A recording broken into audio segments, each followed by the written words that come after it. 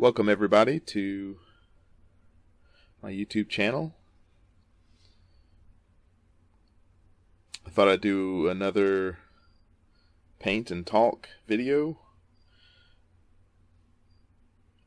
I've already painted, now I'm just talking over the video as I watch watch back. And I'll try to tell you what I was deciding on the spot, what I had planned, and so on.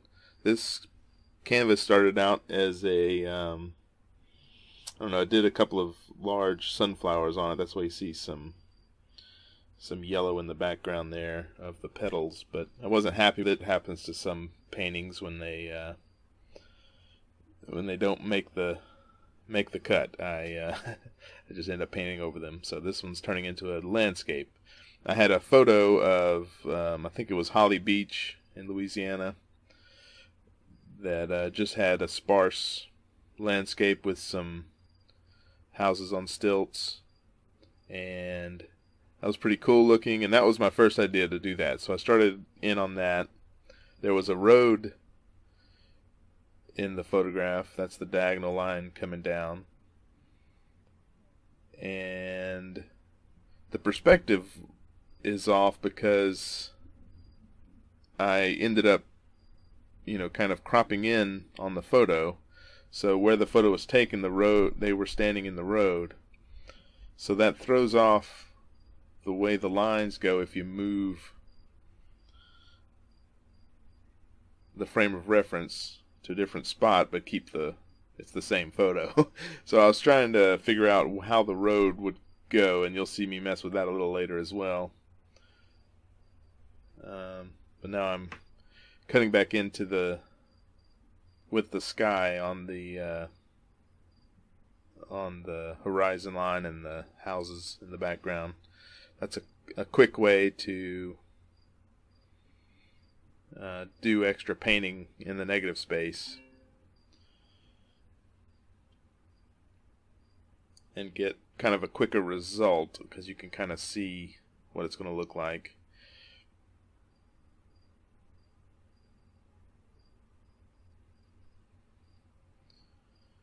Again, these two houses were on stilts, I'm kind of indicating that by, uh, having the sky appear through those stilts. I'm not concerned with accuracy, I'm just uh, getting the gist of of the scene.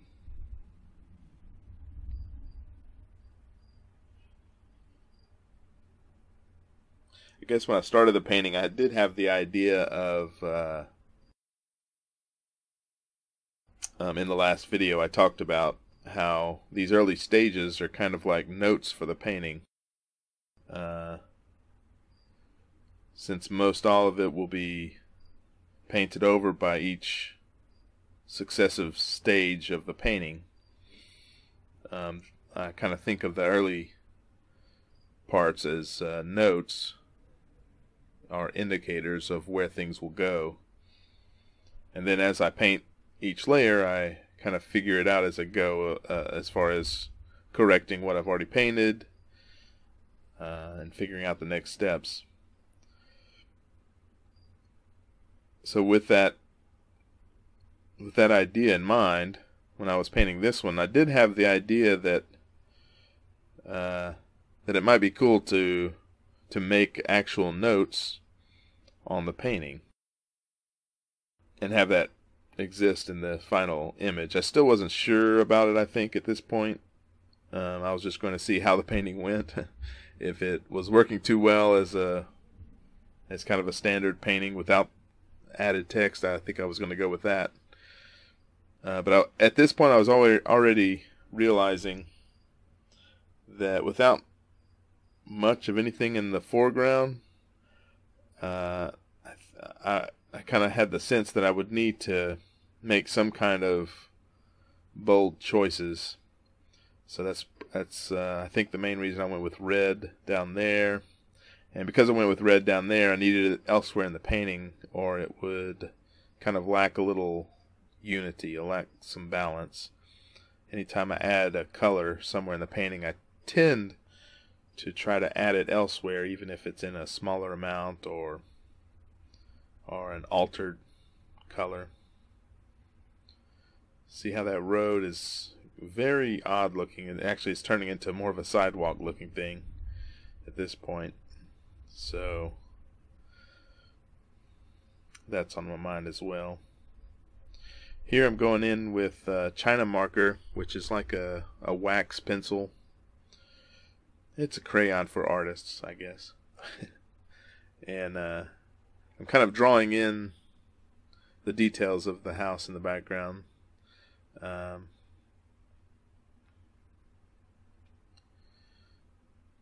I'll often use that to as another step in the in the evolution of a painting, just to find the details and to correct lines.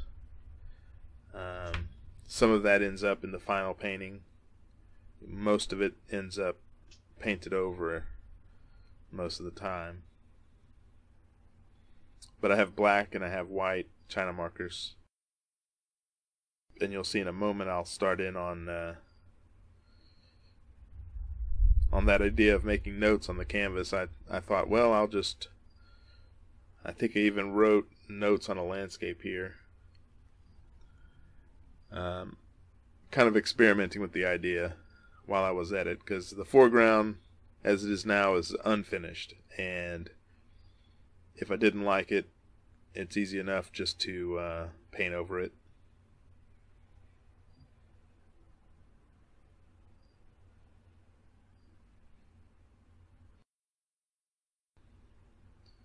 Um, I don't know, stream of consciousness took over and I just uh, kept writing.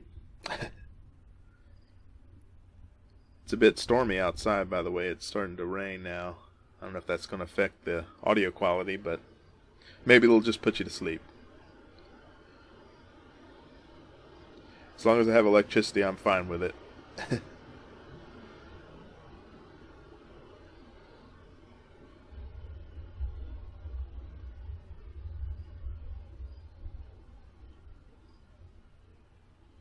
and really, a lot of this really just is stream of consciousness. Uh, some of it I uh, I connected with the notes theme, where I would kind of act like it's making notes on the painting, uh, talking about like labeling things like the sky and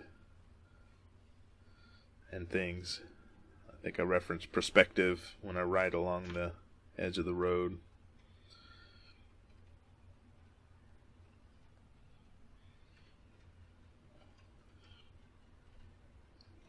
Now I'm using the white China marker. It shows up a little better in some spots. Some of that and I can't see the details from my little what I'm looking at now in the video, but uh, some of the uh, some of the writings I I, I do some uh, writing, and I, th- I, think I recently I did a a poem, and so some of that was parts of the poem, but most of it is just kind of off the off the cuff. Um, words I like the more trees needed here.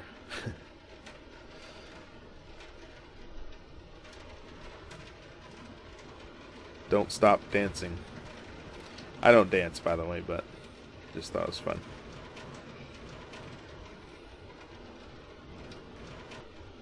And at this point, I really wasn't sure if I liked it or not. I think I even uh, posted that on my Instagram, or wrote that, that I'll probably not probably, but that I would paint over it if I uh, once I analyze the painting. Uh, that I would paint over it if I didn't uh, care for it. Because as it sits, it's still kind of an underpainting, unless I want that severely abstracted look. Which turns out I, I it does kind of end up like that, but Spoiler alert, I do keep all the words on there.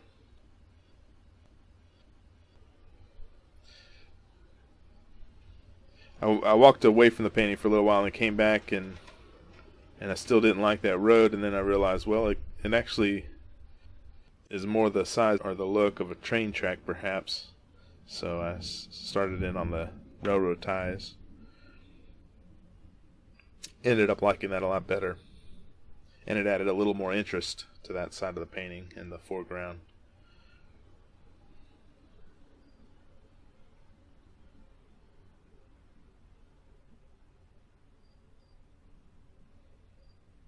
ended up calling this painting Notes on a Landscape. And then kind of the subtitle is Everyone Relax. Because that's the most prominent phrase in the bottom corner in the red there.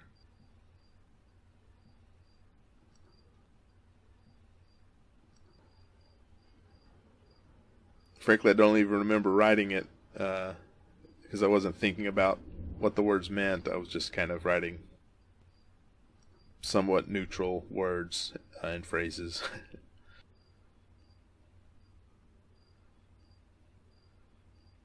I had ideas of of writing so many words over each other that you couldn't make out whole phrases, but in the end that just seemed like extra work and I think the effect is good enough as it is. Also decided, uh, since there was a lot of open space in this painting, to kind of give a border around the edges, just a a black border. That's what I'm doing now.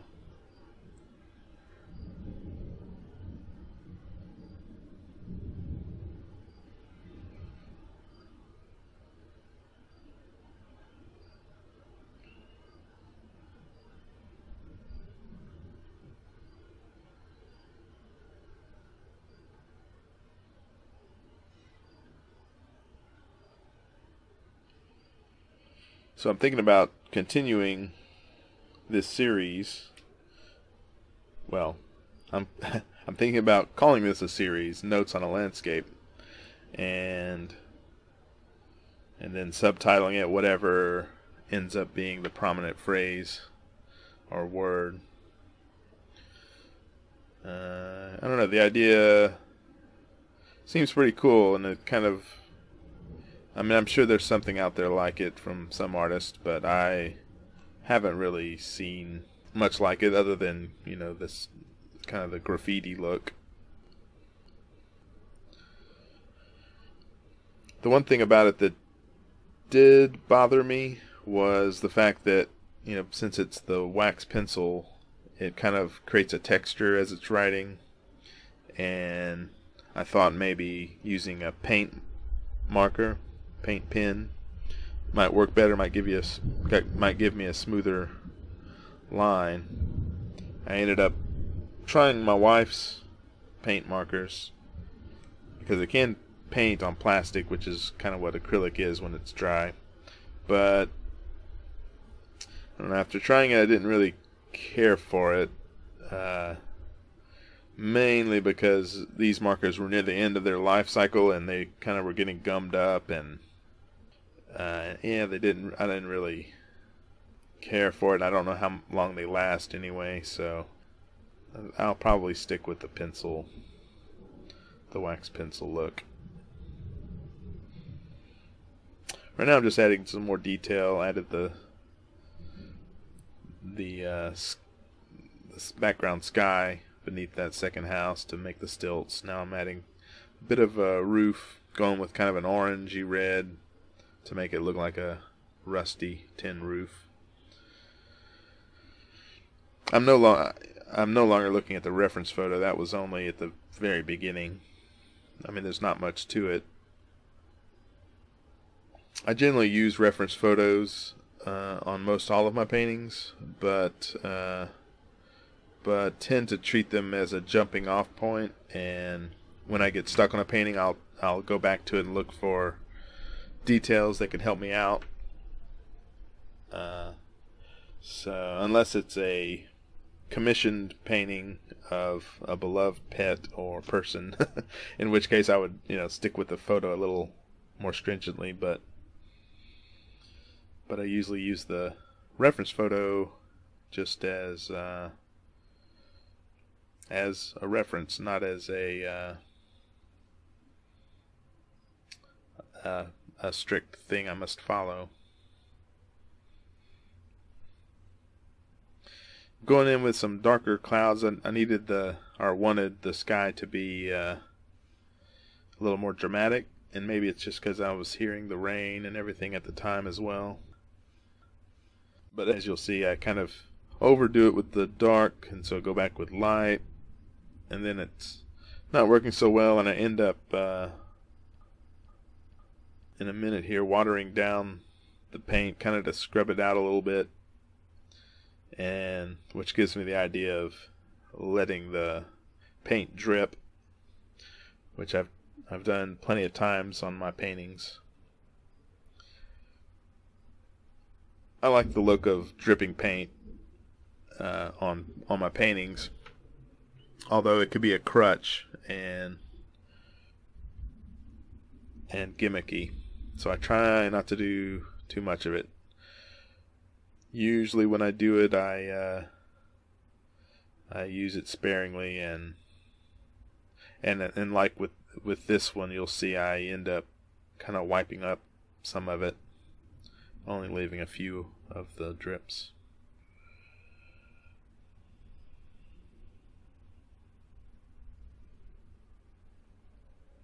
There's kind of two modes of creating that I go through. While I'm painting, it's generally the uh, I don't know what word would be good for it. Uh, the the emotional, intuitive side, uh, the artist just doing his thing. Um, generally, that's uh, applying techniques, um, balancing color, correcting shapes, this sort of thing. And then that intuitive artist side has to give way to the more analytical decision making side, the thinking side. And a lot of a lot of times it's uh, back and forth. As I'm painting, I pause, step back, like I'm doing here, looking at how the drips look overall. Then I return, and this is I'm just kind of wiping out this one with some water because it's all those drips are still wet, so they can usually be wiped away pretty easily.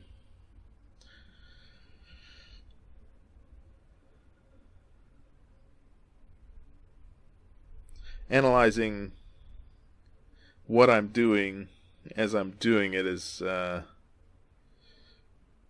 is difficult to do, but uh, but I do notice myself going into these different modes of creating.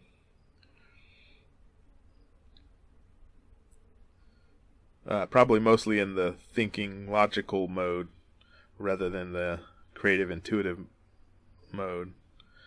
I don't really notice it too much then. That's more of the what they call the flow state or the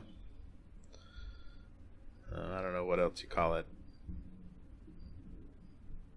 Where time kind of disappears and you you're just painting or creating or songwriting or writing, you know, any whatever art it is, you're kind of lost in the uh, in the act of it. That's what I'm calling the creative mode, the intuitive.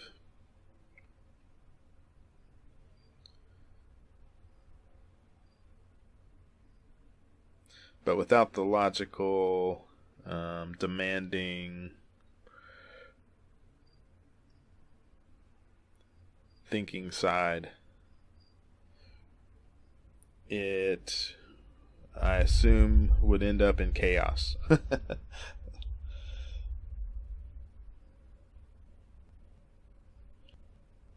kind of has to be a balance, I think.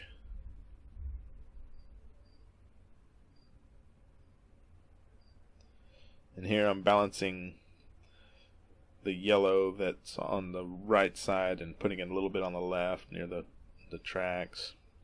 Doing some last minute balancing. I think that's about it. I don't think I do much else. I appreciate uh, you stopping by to watch the video.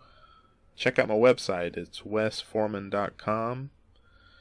W E S S F O R E M A N com. And I appreciate you stopping by. Thanks for watching. Leave a comment below if you have any questions or suggestions for future paintings. Thanks.